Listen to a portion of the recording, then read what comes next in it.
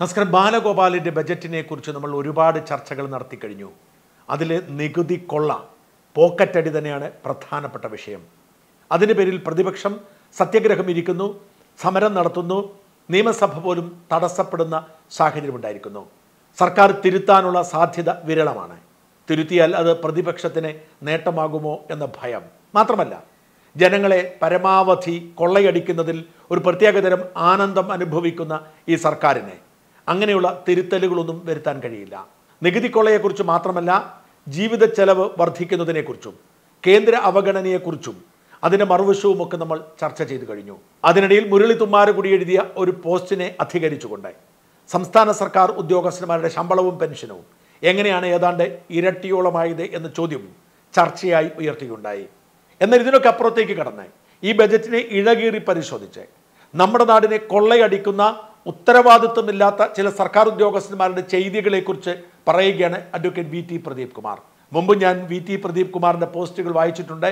The people എന്ന social മൂവ്മെന്റിന്റെ സ്ഥാപകനും നേതാവുമാണ് പ്രദീപ് കുമാർ. അദ്ദേഹം വിവരാവകാശ രേഖകളുടെ അടിസ്ഥാനത്തിൽ വിശദമായി തന്നെ സർക്കാർ ഡാറ്റകൾ പഠിച്ച് സർക്കാർ സംവിധാനങ്ങളും ഭരണാധികാരികളും നമ്മൾ പാവങ്ങളെ എങ്ങനെ കൊള്ളയടിക്കുന്നു എന്ന് നിരന്തരമായി എഴുതിക്കൊണ്ടിരിക്കുന്നു. അദ്ദേഹം ഇന്ന് എഴുതിയിരിക്കുന്ന കുറിപ്പ് ഭയപ്പെടുത്തുന്നതാണ്.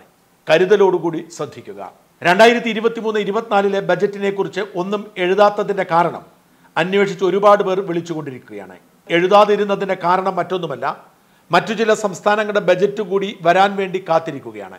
നിരന്തരമായി കേരളം കടക്കണിയിലാണെന്ന് പറഞ്ഞുകൊണ്ടിരിക്കുമ്പോൾ കേരളം മാത്രമാണോ ഇങ്ങനെ കടത്തിലാവുന്നതെന്നും എങ്കിൽ എന്തുകൊണ്ട് കണക്കണിയിലാവുന്നതെന്നു കൂടി പറയാനുള്ള ബാധ്യതയുണ്ട്.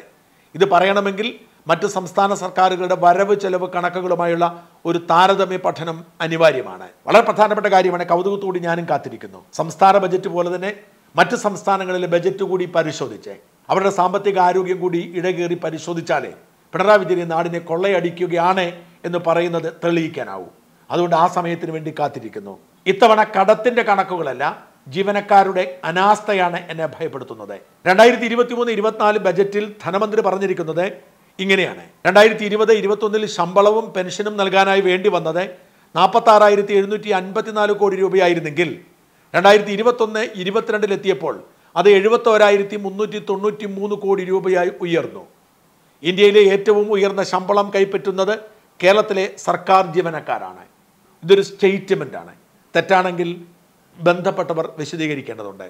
ജനങ്ങളെ പിഴിഞ്ഞെടുത്തുണ്ടാക്കുന്ന നികുതി പണം ശമ്പളമായി കൈപ്പറ്റുന്ന ഉദ്യോഗസ്ഥരുടെ ജോലി എന്താണ്? വാങ്ങുന്ന ശമ്പളത്തോടെ ഇവർക്ക് എന്തെങ്കിലും കൂറുണ്ടോ? ഇവർക്ക് സംസ്ഥാനത്തോടോ ഇവിടുത്തെ ജനത്തോടോ എന്തെങ്കിലും ഉത്തരവാദിത്വമുണ്ടോ? ഇനിയാണ് അദ്ദേഹം ചില കണക്കുകൾ അവതരിപ്പിക്കുന്നത്. ശ്രദ്ധയോടെ കേൾക്കുക. സംസ്ഥാനത്തെ പിരിച്ചെടുക്കാൻ കുടിശ്ശികയായിരിക്കുന്നത് പത്തൊൻപതിനായിരത്തി തൊള്ളായിരത്തി ഇരുപത് കോടി രൂപയുടെ നികുതികളാണ്. ഇത് വെറുതെ പറയുന്നതല്ല അദ്ദേഹം രേഖകളുടെ അടിസ്ഥാനത്തിൽ പറയുന്നത് ഏതാണ്ട് ഇരുപതിനായിരം കോടി രൂപയുടെ നികുതി കുടിശ്ശിക ഇവിടെയുണ്ട്. ഇത് ആദ്യത്തെ ചോദ്യം എങ്ങനെയാണ് ഈ നികുതി കുടിശ്ശിക ഉണ്ടാവുന്നത്? നമ്മൾ ആരെങ്കിലും അഞ്ച് പൈസ നികുതി അടച്ചില്ലെങ്കിൽ നമുക്ക് ഇരിക്കപ്രതി ഉണ്ടോ? കേസുമായി കോടതിയിൽ പുറകെ നടക്കണം പിഴയടക്കണം. ഇതാണ് സർക്കാരിന്റെ ഒരു രീതി. പക്ഷേ ഇപ്പോഴും പത്തൊൻപതിനായിരത്തി തൊള്ളായിരത്തി ഇരുപത് കോടി രൂപ നികുതി കുടിശ്ശികയായി കിടക്കുന്നു. ഇതിനു പുറമെ സർക്കാരിന് വിവിധ സ്ഥാപനങ്ങളിൽ നിന്നും പിരിഞ്ഞു കിട്ടാനുള്ളത് ഇരുപത്തേഴായിരത്തി തൊള്ളായിരത്തി അറുപത്തേഴ് കോടി രൂപയുടെ ഗ്യാരണ്ടി കമ്മീഷനുമുണ്ട്. എന്താണ് ഈ ഗ്യാരണ്ടി കമ്മീഷൻ എന്ന് എനിക്കറിയില്ല. പക്ഷെ എനിക്കറിയാവുന്ന ചിലതുണ്ട്. ഒന്ന് കെ എസ് ബി അല്ലെങ്കിൽ വാട്ടർ അതോറിറ്റി. രണ്ടും സർക്കാർ സ്ഥാപനങ്ങളാണോ എന്ന് ചോദിച്ചാൽ സർക്കാരിന് വേണ്ടി പ്രവർത്തിക്കുന്ന പബ്ലിക് കമ്പനികളാണ്. ഈ രണ്ട് കമ്പനികൾക്കും നിരവധി സ്വകാര്യ വ്യക്തികളടക്കം നിരവധി പ്രമുഖ സ്ഥാപനങ്ങളടക്കം കോടിക്കണക്കിന് രൂപ കൊടുക്കാനുണ്ടായി. നമ്മൾ ഒരു മാസം വൈദ്യുതിയുടെ ബില്ല് അടച്ചില്ലെങ്കിൽ നമ്മുടെ കണക്ഷൻ അവർ കൊണ്ടുപോകും. നമ്മൾ ഒരു മാസം വെള്ളക്കരം അടച്ചില്ലെങ്കിൽ വെള്ളം അവർ നിർത്തിവെക്കും. പക്ഷേ വൻകിട സ്ഥാപനങ്ങൾ മാധ്യമ സ്ഥാപനങ്ങളടക്കം വൻകിട കമ്പനികളടക്കമുള്ളവർ ഇപ്പോഴും വെള്ളത്തിന്റെ പൈസയും അടയ്ക്കാത്തതുണ്ട് കറണ്ട് ബില്ലും അടയ്ക്കാത്തതുണ്ട്. അതൊക്കെ പലപ്പോഴും സർക്കാർ ഇളവ് ചെയ്ത് കൊടുക്കുന്നുമുണ്ട്. അതാണോ അദ്ദേഹം പറഞ്ഞ ഗ്യാരണ്ടി കമ്മീഷൻ എന്നെനിക്കറിയില്ല. അതായത് സംസ്ഥാനത്തിനകത്തു നിന്ന് മാത്രം പിരിച്ചെടുക്കാനുള്ളത് നാൽപ്പത്തേഴായിരത്തി എണ്ണൂറ്റി എൺപത്തിയേഴ് കോടി രൂപയാണ്. അതായത് ഈ ഗ്യാരണ്ടി കമ്മീഷനും നികുതി കുടിശ്ശികയും അടക്കം ഏതാണ്ട് അൻപതിനായിരം കോടി രൂപ പിരിച്ചെടുക്കാൻ ബാക്കി കിടക്കുന്നു എന്നർത്ഥം. നികുതി വകുപ്പിൽ മാത്രം ലക്ഷങ്ങൾ ശമ്പളം വാങ്ങിക്കുന്ന നൂറുകണക്കിന് ജീവനക്കാരില്ലേ? ആദ്യത്തെ ചോദ്യം. അവരുടെ പണി എന്താണ്? ഇത് വാങ്ങിയെടുക്കുക എന്നതാണ്. കേന്ദ്രം ജി എസ് ടി നഷ്ടപരിഹാരം തരുന്നില്ല എന്ന് പറഞ്ഞുകൊണ്ട് ജനങ്ങളുടെ മുന്നിൽ വന്ന് കരയുന്ന ധനകാര്യമന്ത്രിയുടെയും അദ്ദേഹത്തിന്റെ വകുപ്പിലെ ജീവനക്കാരുടെയും അനാസ്ഥ കാരണം ഐ ജി എസ് ടി ഇനത്തിൽ സംസ്ഥാനത്തിന് നഷ്ടമായത് ഇരുപത്തയ്യായിരം കോടി രൂപയാണ്. അതായത് ജി എസ് ടി എന്ന് പറയുന്ന നികുതി അതിൽ കേരളം പിരിച്ചെടുക്കേണ്ട വിഹിതത്തിൽ ഇരുപത്തയ്യായിരം കോടി രൂപ പിരിച്ചെടുത്തിട്ടില്ല. വീണ്ടും ഞാൻ ആവർത്തിക്കുന്നു സാധാരണക്കാരൻ ജി എസ് ടി അടച്ചില്ലെങ്കിൽ അവൻ അറസ്റ്റ് ചെയ്ത് ജയിലിലിറക്കും എന്നാൽ സ്വാധീനമുള്ളവൻ ഇരുപത്തയ്യായിരം കോടി രൂപ സർക്കാരിന് കൊടുക്കാൻ കിടക്കുന്നു. ഈ ഉദ്യോഗസ്ഥന്മാർ പിരിച്ചെടുക്കുന്നില്ല. ഈ ജി എസ് ടി നഷ്ടപരിഹാരം പോലും ഒരു തട്ടിപ്പാണ് ജി എസ് ടി നഷ്ടപരിഹാരം ഇപ്പോഴുമുണ്ട്. രണ്ടായിരത്തി ഇരുപത്തി ആറ് വരെ നീട്ടിയിട്ടുമുണ്ട്. സംയോജിത ചരക്ക് സേവന നികുതിയുടെ റിട്ടേണുകൾ ഘടനാപരമായി പരിഷ്കരിക്കാത്തത് കാരണം കഴിഞ്ഞ അഞ്ചു വർഷം കൊണ്ട് ഇത്രയും തുക നമുക്ക് നഷ്ടമായത്. ഇതാരാണ് ചെയ്യേണ്ടത്? നികുതി നൽകുന്ന ജനങ്ങളാണോ? ധനകാര്യ വകുപ്പിന്റെ ഈ പരാജയം ജനങ്ങളിൽ നിന്ന് മറച്ചുവെക്കാനായി എക്സ്പെൻഡിച്ചർ റിവ്യൂ കമ്മിറ്റിയുടെ റിപ്പോർട്ട് ധനമന്ത്രി നിയമസഭയിൽ വയ്ക്കാതെ ഒഴിവാക്കുകയാണ് ഉണ്ടായത്. ഇതൊന്നും നമുക്കറിയാത്ത കാര്യങ്ങളാകട്ടോ. ഇങ്ങനെ റിപ്പോർട്ട് നിയമസഭയിൽ വെക്കണമായിരുന്നു വെച്ചില്ല. എന്തുകൊണ്ട് പ്രതിപക്ഷം ഇതേക്കുറിച്ച് പറഞ്ഞില്ല ചർച്ചയാക്കിയില്ല എന്നും നമുക്കറിയില്ല. ഇതിനു പുറമെയാണ് കോളേജ് അധ്യാപകരുടെ യു ജി സി ശമ്പള കുടിശ്ശികയ്ക്കായി അപേക്ഷ സമർപ്പിക്കാത്തത് കാരണം എഴുന്നൂറ്റി അൻപത് കോടി രൂപ നഷ്ടമായത്. അത് കഴിഞ്ഞ ദിവസം പത്രങ്ങളിൽ കണ്ട വാർത്തയാണ്. നമ്മൾ സർക്കാർ ചെയ്യേണ്ട പണിയുണ്ട്. സർക്കാർ എന്ന് പറഞ്ഞാൽ സർക്കാർ ഉദ്യോഗസ്ഥന്മാർ. ഉദ്യോഗസ്ഥന്മാർ കൃത്യമായി പണി ചെയ്യണമെങ്കിൽ മന്ത്രിമാർക്ക് കഴിവുണ്ടാവണം. മന്ത്രിമാരുടെ കീഴെയുള്ള സിവിൽ സർവീസ് ഉദ്യോഗസ്ഥന്മാർക്ക് ഉത്തരവാദിത്വം ഉണ്ടാവണം. എങ്കിൽ മാത്രമേ ജോലി ചെയ്യൂ. എന്ന് മാത്രമല്ല ഇവർ പണി ചെയ്തില്ലെങ്കിൽ ഇവർക്ക് ഏറ്റവും കുറഞ്ഞത് ശമ്പളമെങ്കിലും നഷ്ടപ്പെടണം. അതില്ല. അതുകൊണ്ടാണ് യു ജി സി ശമ്പള കുടിശ്ശിക എഴുന്നൂറ്റി അൻപത് കോടി രൂപ നഷ്ടപ്പെട്ടു. അധ്യാപകർക്ക് കൊടുക്കാനുള്ളതാണ്. ആ സമയത്ത് അപേക്ഷിച്ചില്ല. ഇനി എന്തു ചെയ്യും? ഖജനാവിൽ നിന്നും പ്രത്യേകം വിലയിരുത്തി അങ്ങ് കൊടുത്തും അല്ലെങ്കിൽ അധ്യാപകർ കൊടി പിടിക്കും ആകെ താറുമാറാകും നാണക്കേടാവും. നമ്മളറിയാതെ ഖജനാവിൽ നിന്നും ഈ കാശ് കൊടുക്കും. കേന്ദ്ര സർക്കാർ ആവർത്തിച്ച് ആവശ്യപ്പെട്ടിട്ടും സമയബന്ധിതമായി നൽകേണ്ട അപേക്ഷ നൽകാതെയാണ് ഈ തുക നഷ്ടപ്പെടുത്തിയത്. എന്റെ ചോദ്യം എത്രയധികം ശമ്പളക്കാർ ഇവിടെയുണ്ട്? എത്രയധികം സംവിധാനം ഇവിടെയുണ്ട്? രാഷ്ട്രീയക്കാരില്ലേ? ഭരണാധികാരികളില്ലേ? കേന്ദ്ര സർക്കാർ കത്തയച്ചിട്ടും ഒരു അപേക്ഷ കൊടുക്കാൻ പോലും എന്താണ് ഇവർക്ക് കഴിയാത്തത്?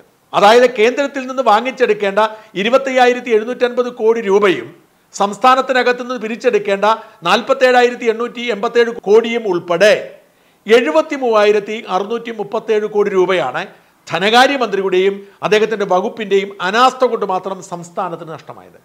അതായത് ശമ്പളം വാങ്ങുന്ന മന്ത്രിമാരും സിവിൽ സർവീസ് ഉദ്യോഗസ്ഥന്മാരും സർക്കാർ ജീവനക്കാരും. അവരുടെ പണിയെടുക്കാത്തത് കൊണ്ട് മാത്രം ഖജനാവിന് നഷ്ടം എഴുപത്തി മൂവായിരത്തി അറുന്നൂറ്റി മുപ്പത്തിയേഴ് കോടി രൂപയാണ്.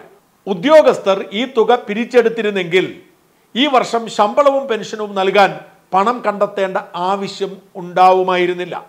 റവന്യൂ വരുമാനം മറ്റ് വികസന പ്രവർത്തനങ്ങൾക്ക് വേണ്ടി ഉപയോഗിക്കാമായിരുന്നു. പണിയെടുത്തില്ലെങ്കിലും ആവശ്യപ്പെടുന്ന ശമ്പളം കൃത്യമായി നൽകുന്ന സമ്പ്രദായത്തിലേക്ക് മാറിയതാണ് കേരളത്തിലെ കടബാധ്യതയുടെ അടിസ്ഥാന കാരണം. ഇതാണ് അദ്ദേഹം ചർച്ച ചെയ്യുന്ന വിഷയം. പണ്ടേയുള്ള രീതിയാണ്. ശ്രീ പത്മനാഭന്റെ രണ്ട് ചക്രം. ശ്രീ പത്മനാഭന്റെ രണ്ട് ചക്രമാണ് ഒരു സ്വകാര്യ വ്യക്തി കൊടുക്കുന്ന പത്ത് ചക്രത്തെക്കാൾ വിലയുള്ളത്. ഉയർന്ന വരുമാനവും അന്തസ്തുമുള്ള ഒരു സ്വകാര്യ സ്ഥാപനത്തിലെ ജോലിയേക്കാൾ ഏതൊരാളും ഇഷ്ടപ്പെടുന്നത് ഒരു സർക്കാർ ഓഫീസിലെ ക്ലർക്കോ പിയൂണോ ആവാനാണ്. കാരണം ഗ്യാരണ്ടിയാണ് പണിയെടുക്കണമെന്ന് നിർബന്ധമില്ല. പെൻഷനും ആനുകൂല്യങ്ങളും അവധികളും ചിന്തിക്കാൻ കഴിയുന്നതിനപ്പുറത്തേക്ക്. ഈ മനോഭാവമാണ് നമ്മുടെ നാട്ടിലെ സാമ്പത്തിക പ്രതിസന്ധിയുടെ അടിസ്ഥാന കാരണം എന്നാണ് ഇദ്ദേഹം പറയുന്നത്. തന്റെയും തന്റെ ഉദ്യോഗസ്ഥരുടെയും അനാസ്ഥ കാരണം സംഭവിച്ച നഷ്ടം മറച്ചു വെച്ചുകൊണ്ടാണ് സർക്കാർ ജനങ്ങളുടെ തലയിൽ നികുതിയായും സെസ്സായും വൻ ബാധ്യത കെട്ടിവെക്കുന്നത്.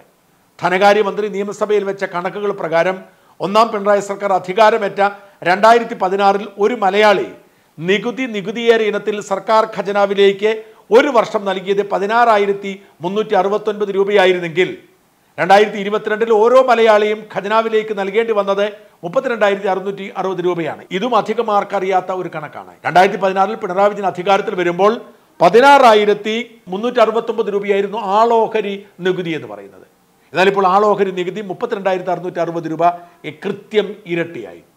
അതായത് നികുതി വർദ്ധിപ്പിച്ച് സെസ് വർദ്ധിപ്പിച്ച് പിണറായി വിജയൻ സർക്കാർ നമ്മളിൽ നിന്നും ഇരട്ടി വരുമാനം ഉണ്ടാക്കിക്കൊണ്ടിരിക്കുന്നു എന്നിട്ടാണ് ഈ സാമ്പത്തിക നഷ്ടം. അതായത് നമ്മൾ കൊടുക്കുന്ന പണം ഇരട്ടിയാകുന്നു എന്നിട്ടും കടം പെരുകുന്നു. അത്രയും ഭീമമായ നികുതി വർധനമാണ് ഏഴ് വർഷം കൊണ്ട് സംസ്ഥാനത്തുണ്ടായത്. രണ്ടായിരത്തി ഇരുപത്തി മൂന്നിലെ ബജറ്റിൽ പ്രഖ്യാപിച്ച പെട്രോൾ ഡീസൽ സെസ്സും വർദ്ധിച്ച വെള്ളക്കരവും ഭൂനികുതിയും കെട്ടിട നികുതിയും വൈദ്യുതി ചാർജും നിലവിൽ വരുന്നതിന് മുമ്പേയുള്ള കണക്കാണിതെന്നുകൂടി ഓർക്കണം. അതായത് സർക്കാരിലേക്ക് നമ്മൾ കൊടുക്കുന്ന ഈ അധിക നികുതി എന്ന് പറയുന്നത് ഈ പുതിയ ബജറ്റിൽ ഉൾപ്പെടുത്തിയ ചെലവിന് മുമ്പുള്ളതാണ്.